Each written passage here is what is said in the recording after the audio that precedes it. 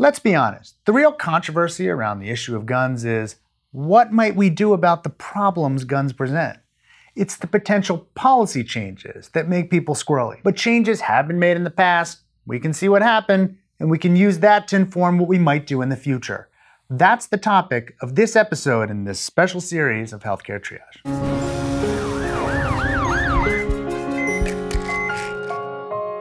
Deep breath, people. First thing we need to do is acknowledge that the solution to this problem is not a false choice between zero regulation and taking everyone's guns away. Other countries and individual US states have adopted measures that we can consider. Let's wade in. In 2016, in the journal Epidemiologic Reviews, researchers published a systematic review of firearm legislation and its relationship to firearm related injuries. They looked for studies both in the United States and abroad they found 130 studies that met inclusion criteria. They found a couple of things that's worth talking about. For each, we're going to show you a pooled odds ratio diagram. We've discussed these before with respect to meta-analyses, but here's a review. A dot to the right of the vertical line is an increase in homicides, which is bad. And a dot to the left of the line is a decrease in homicides, which is good. Each line represents an individual study. Each dot's horizontal line is the confidence interval, and if that hits the vertical line, the study on its own wasn't statistically significant. First up are laws that restrict the purchase, access, and use of firearms. They were associated with reductions in firearm deaths. As you can see, most of the dots are to the left of the line. Overall, they found that these types of regulations seem to work to reduce deaths. The second is simultaneous implementation of laws targeting multiple elements of firearms regulation. These also were associated with reductions in firearm deaths, homicides, and suicides. Pretty much all of the dots are to the left of the vertical line. Third, they looked at relaxing firearms restrictions, such as stand your ground or concealed carry laws and they found that these could increase the rate of firearm homicides, but the evidence is mixed. Let's look at the figure. Certainly, relaxing laws doesn't appear to be good, though. As you can see from all of these plots, you can cherry pick among the individual studies. You can. You can find a study to show that some laws work, and you can find a study that shows that some laws don't. Moreover, some of these studies aren't from the United States, but from other countries. And as we've talked about in previous episodes, the United States looks like no other country with respect to guns, so there's some validity to questioning how laws in other countries might apply here. But still, we shouldn't ignore data and evidence. One study looked at gun restrictions in Colombia that reduced the number of days people could carry firearms. Homicides went down on those days. In Australia, a 1997 law placed restrictions on some firearms, mandated background checks, waiting periods, and safer firearm regulations. And it was associated with a 4.8% reduction in firearm homicide and a 9.9% reduction in firearm suicide in models adjusting for confounding factors like unemployment and alcohol consumption. In Brazil, gun control reform was associated with reductions in firearm related homicides and hospitalizations. In all fairness, though, there's mixed evidence from Canada. But let's talk about studies in the United States. It's hard to argue those aren't more on point. In 2012, a study in preventive medicine looked at how background checks are associated with firearm deaths they created an additive index which increased with each additional component of a background check, like criminal record, restraining orders, mental illnesses, misdemeanors, etc. They also had separate binary indicators for restraining orders, mental illness, misdemeanor, and fugitive status, relative to a baseline background check of only a criminal record. Let's acknowledge that there are many potential confounders. Particularly the efficiency and automation of background checks has a large impact on their effectiveness and was not considered. Still, more comprehensive background checks were associated with fewer firearm deaths. Another study, published in 2008, also looked at how increasing the information in background checks, which varies at the state level, influences firearm deaths. It used negative binomial regressions with controls for various factors impacting homicide rates like poverty, age, unemployment, etc. It found that local level background checks, which can be much more detailed than federal ones, were associated with lower levels of firearm suicides and to a lesser extent homicides.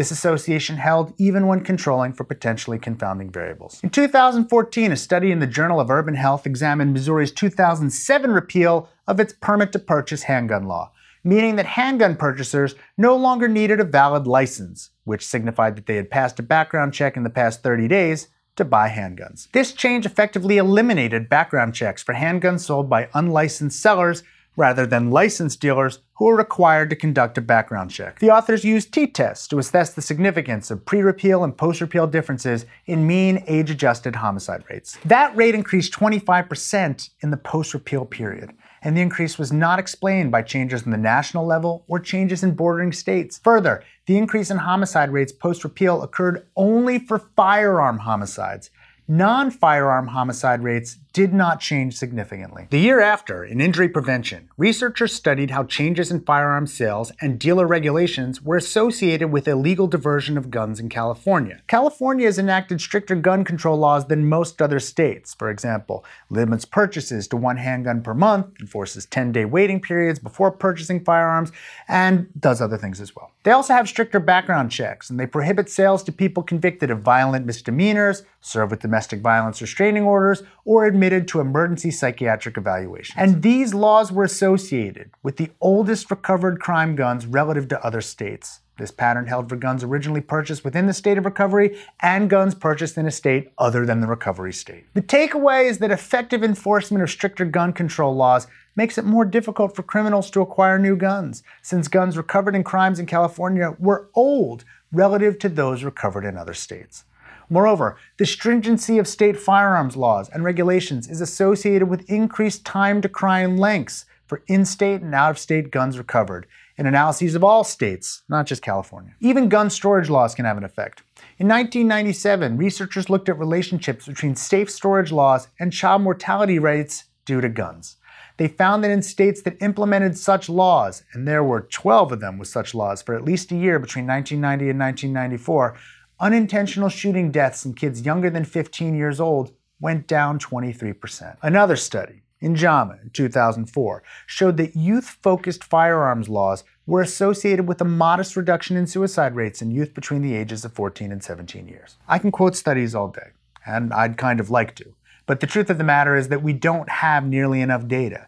But that could change soon. Just recently, using Thomson Reuters Westlaw data, researchers created a database to record 133 different provisions of firearm laws in every state for the last 26 years. These provisions cover state policies on guns, ammo, who can have a gun, how they're stored, how they're sold, and how manufacturers can be held liable. The database is impressive.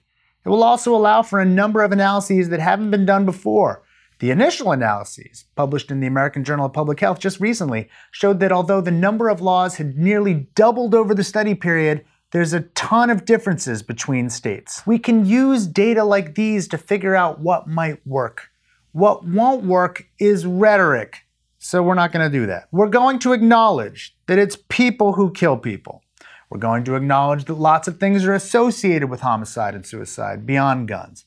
We're going to acknowledge that bad things happen, including murder and suicide, even in places which have far, far fewer guns than we do. We're going to acknowledge that many people believe they have a right to own a gun.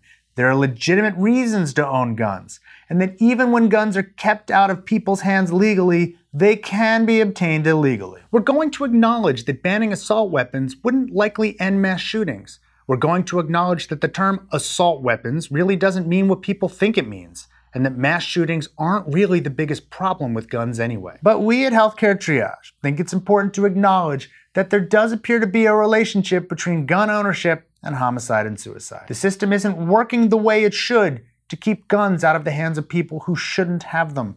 This includes kids, who are far too often the victims of both homicide and suicide. There are things we can do to improve the situation.